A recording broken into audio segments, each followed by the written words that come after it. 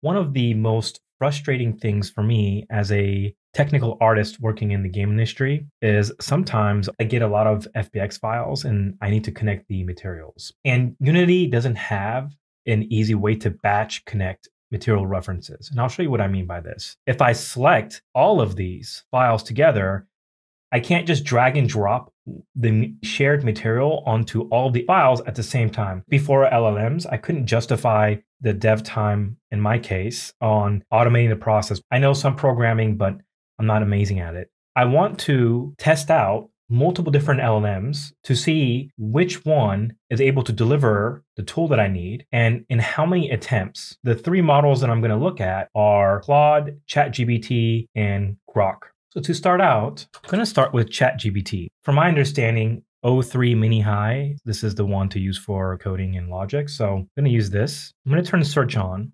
and let's go ahead and make our prompt. This is the prompt that I've written. So one thing that I want to emphasize as I've done a little bit of testing with this, there's a very key prompt that if you do not add to your prompt, no LLM will be able to create a robust material batching tool. And this took me a little while to understand. I'm going to require the tool to first clear out the material slot and set it to none before trying to assign a new target material. Because sometimes an FBX file could have a material already existing into the remapped material section.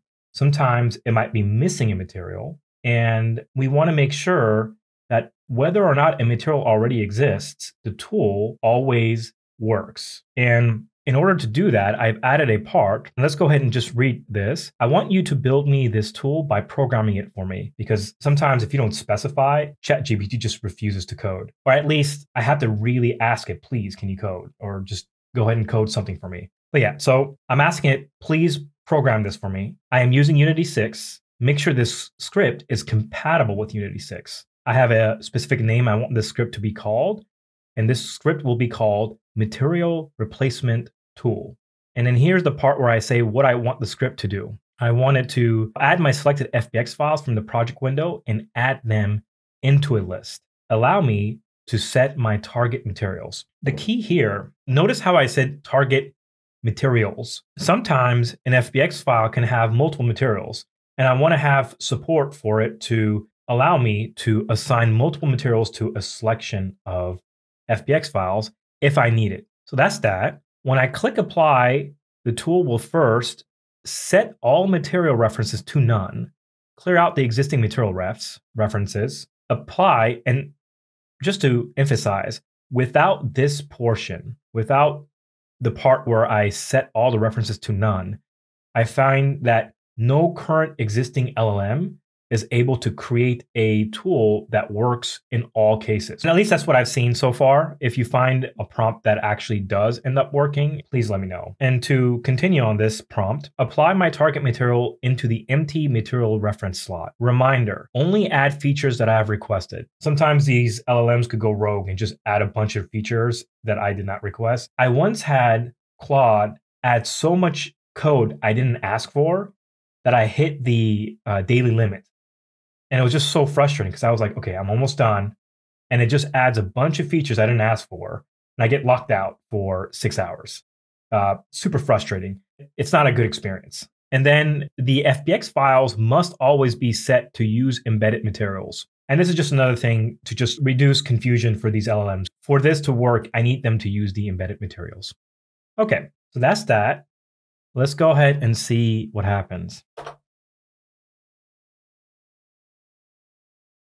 Just for simplicity, I'm going to create my script in this same directory that I'm going to be working in for this test tutorial. Okay, so we've copy pasted the code in here. Let me save it. What I'm going to do is I'm going to select the errors and I'm going to press Control C to copy them and then go back into ChatGPT and paste them. Because Unity has multiple different versions, you'll run into compatibility issues often. That's why I said Unity 6 when I was prompting it initially but that looks like that did not resolve the compatibility issues. So in this case, it did not get it correct in the first attempt. Let's see if the second iteration works. Let's go to Tools, material replacement tool. I know which material all of these use. It's called Grave based on their embedded information right here. So I'm going to go into the graveyard folder where the materials are. It's pink, and that just means that it was made on a older version of Unity. So I'm going to go to edit, rendering, materials, convert to an updated URP version. Proceed. Okay. And since I know this is the only material I'm going to be working on for this tutorial, I'm going to move it into the directory I'm working in right now. I think it's the model one. Boom. So we have our materials in FBX files. I don't, I'm not going to be working with this, and I'm not going to be working with this. So everything is in one place. I'm going to bring back my tool again. Okay. Let's see. Sometimes these scripts can cause issues by mapping my FBX files in the wrong way, and it could be a pain to revert that. So since I'm using version control, I'm going to save this. I'm going to create a new branch, new branch. I'm going to call this um, batch material um, assigner tutorial 01. Go ahead and bring my changes over, saving test files. All right, now I can start experimenting with this tool. And if my FBX files get ruined, because there's so many of them, just going by one one and trying to adjust it is uh, a pain. So, all right, let's go ahead and add selected FBX files. All right, let's go to add our material and we'll know if it's working if our scene properly updates. So let's go ahead and apply. Okay, it did not work. Let's see what happened. All right, so nothing happened. So how many attempts is that? Let me just double check the attempts. So that was attempt two. Let's see if attempt three gets me anything. I don't know. Part of the challenge in this is without me necessarily having to debug it myself. So any warnings, I just skip them uh, until I, I see them again. Then I'll let ChatGPT figure that one out. All right, let's see if this works now. Okay, so look at that. One of them worked. wonder what's going on here because it applied it on the FBX file, but it's not showing in the inspector. So this thing looks like it. I don't know how that works. So it got connected. Copy paste this. All right. So third attempt, I don't know what to call it. I'm going to say it doesn't work, but slightly improved. You know, I'm thinking if the pseudocode is so detailed that it's basically programming, then I don't think it really counts. The idea here is I want the LLM to fill in the lack of detail. If it looks like a regular user who doesn't know how to code, can it create these kinds of tools? That's why I'm avoiding trying to do too much detailed guidance. Uh, I'm going to copy this, and I think I'm going to set the cap for the attempts to five. Let me just close this out, bring it out, add the FBX files, add material, apply, Whoa. So it did something that I did not ask for. It created a bunch of prefabs. That is not what I wanted. Did not stay on topic. That's the fourth attempt. It created prefabs, not modified FBX files. I'm going to go back to this is why I have this thing right here. I'm going to just discard all those changes. Discard. Okay. All right. So last attempt, I specifically wanted you to modify FBX files do not create new files or prefabs for me. This is definitely not true. I know this is possible. So it's telling me, unfortunately, it's not supported, but that's not right. So let's go ahead and see what this last one looks like before I move on. All right, so that's a fail. Now, if any of you know if there's a, a better model, because I'm more familiar with uh, Claude ChatGPT has a bunch of different models. The naming is a little bit confusing for me. If you know of a better model for this that's more powerful um, for coding, let me know. But I'm going to say failed um, fifth attempt. I don't really know a bunch of stuff going in here. So five, five attempts. I think just to save some time. All right. So that's that. And then let's go ahead and try Grok. Grok, let's go enabled smartest. Okay, code. So I'm going to give it the same exact prompt as before. I'm going to turn on think and let's go. And you can tell I'm not signed in for Grok. Okay, let's go ahead and paste that in here. Oh, wow. Okay. No errors. That's always nice. Usually I get some errors just to make sure. Okay. Yeah.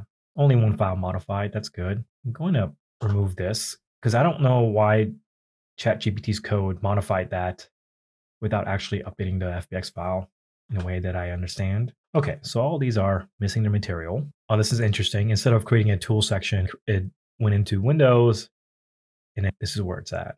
Okay, number of materials, nice. Add FBX files. Let me go ahead and add them. It only added one. Let me drag and drop it, see if that works. Okay, apply material, really nice. Oh, wait a minute, it worked. Oh, wow. That's actually quite shocking for me. I was not expecting it to work. Um, but it's doing something weird. So it's showing it here in the preview, but it's not attaching it to the reference. And I assume that is really weird. Because of the way it connected it, it didn't update the FBX files that I've already placed in the scene. Because ideally, if you actually assign a material reference here, it would also update all of the FBX files that I have in the scene. But because the way it did it, it didn't embed into the FBX file, but somehow it was still able to assign it. Oh, I see what it's doing. Wait a minute. Actually, I don't. Oh, that's interesting. Okay, let me let me revert one of these files because I think I get what it did. It didn't actually do what I wanted it to do. It has a material embedded into it when it was exported from a um, 3D modeling program.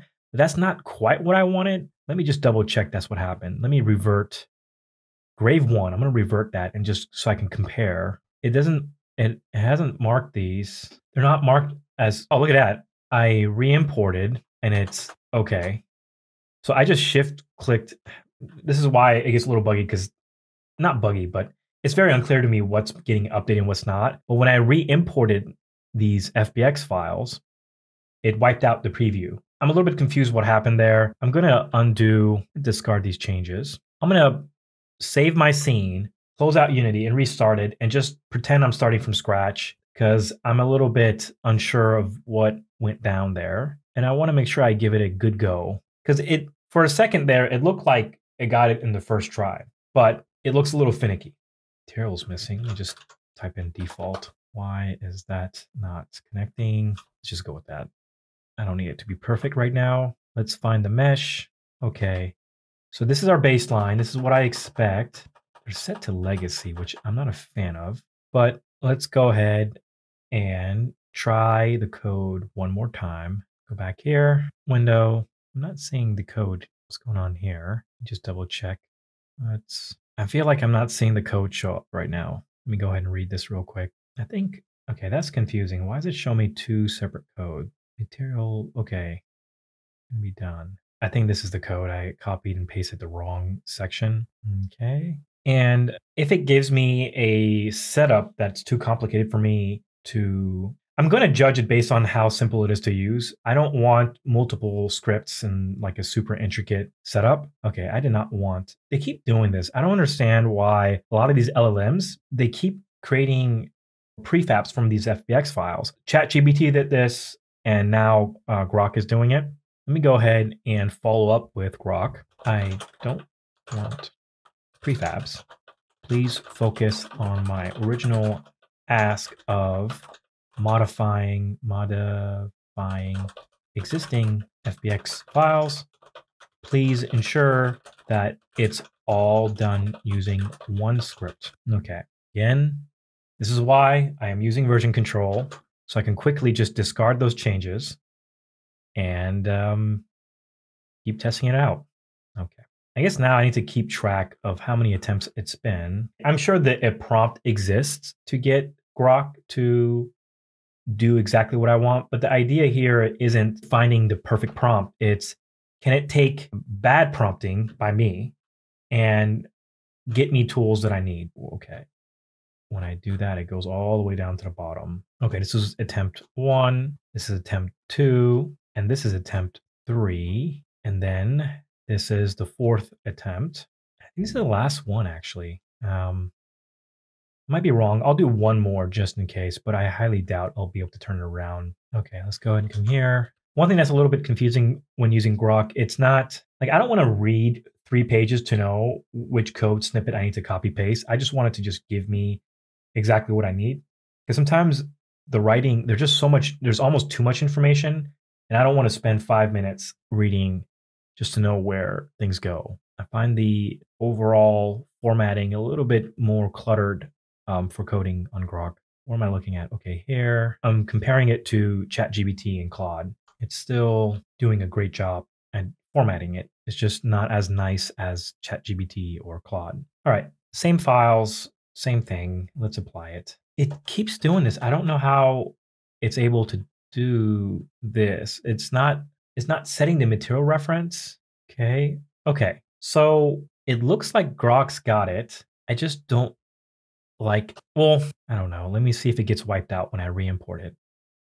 Re-import just to double check that it's actually doing what I wanted it to do. Let me assign it a different material because I have a feeling it might be using um, the embedded inside the FBX file and not actually using the target material. Let's see. Because sometimes FBX files have an embedded material already, and I can't tell if Grok is just activating that portion and not actually assigning my target material. But to just make sure that it's not using the embedded of the FBX file, I'm going to put a material that I know is not embedded. This material over here, I know this material is not embedded in the FBX file itself. So I'm going to apply this and see, yeah, yeah, it's not applying the material. Um,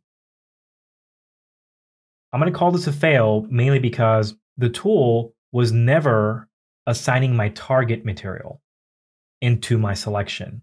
It was simply using the embedded material information in the FBX file. And when it did that, it was able to find an embedded material in the FBX file that made it look like it was working. And this was just pure coincidence. It w- it's basically how the FBX file was set up. That made me a little bit confused at first. Slightly better experience than ChatGPT, um, at least the models that I've been using. Okay, so that's I'm going to call that the fifth, and now we're going to move up to the big one, Let's see. I'm pretty confident Claude's going to get this. I'm going to discard this change, close this out. Okay. All right.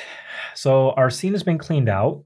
I'll open up Claude. I'm going to be using the extended, it's going to be Claude 3.7 Sonnet with extended turned on. And let's get going. All right, same prompt as before. I hope this works. I can't tell if these models are predictable. Like can they get the right answer sometimes and then other times not so much? I haven't used them enough to know if that's the case. I'm curious. Like, if you use the same prompt multiple different times in different days, um, can the output be different? I assume so. So it's thinking for a really long time. The biggest downside of using Claude, at least from my experience, isn't so much the quality of the code, is that you can hit your cap very quickly. So even though the quality is quite high, I'm using the uh, $20 a month tier. I think that's the main downside. There's a bit of an anxiety when I'm using it because if it goes, if Claude goes rogue and starts like typing out stuff I don't want, I can literally run out of tokens. And if I'm actually trying to solve something that I'm relying on this tool to do for me, um, it's quite frustrating to, to get blocked out. If this just works, it'll be quite shocking for me because I've tested a bunch of different tools out before that I've tried to create with Claude. And usually it requires a little bit of back and forth to get it working right. So let's go ahead and select our FBX files, add them, and add our material. And wow, it worked first attempt. I'm actually quite shocked. Prior to this, I tried to make this tool and using the same exact prompt. The last time I did it was just like yesterday, it took me four prompts and starting with this exact same prompt I used here. So this works. It updated, it's connected, everything's working. All right, so that makes it a lot simpler. Um, Claude work, first try. Yeah. So what does that tell me? Um, uh, Claude's awesome.